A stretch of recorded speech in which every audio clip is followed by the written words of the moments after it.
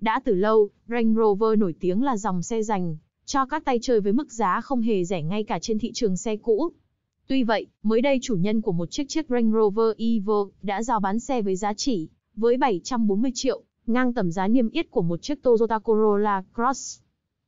Theo như thông tin từ người bán đưa ra, chiếc Range Rover Evo được sản xuất từ năm 2018. Ngoài ra, không có thêm bất kỳ thông tin nào về lăn bánh của xe.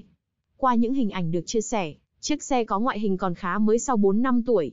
Bộ mâm nguyên bản đã được nâng cấp với thiết kế bắt mắt hơn. Trái ngược với bề ngoài, nội thất của xe cũng có những dấu hiệu lão hóa nhẹ theo thời gian. Ghế xe có một chút nhăn và bạc màu nhẹ.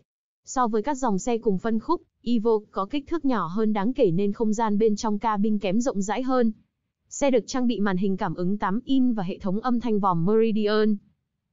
Về công nghệ an toàn và hỗ trợ người lái, các tính năng được trang bị trên xe bao gồm cảnh báo va chạm phía trước, phanh khẩn cấp tự động, các cảm biến đỗ và hệ thống camera quan sát xung quanh. Có vô số ý kiến khác nhau của cộng đồng mạng xung quanh bài đăng này. Nhiều người tỏ ra vô cùng thích thú với mức giá này nhưng bên cạnh đó, cũng có những bình luận trái chiều về nguồn gốc hợp pháp cũng như về giấy tờ của xe. Đáp lại những ý kiến này, chủ xe cho biết đây không phải xe trộm cắp, có thể đăng kiểm được toàn quốc nhưng không thể sang tên cho chủ mới. Xe cộ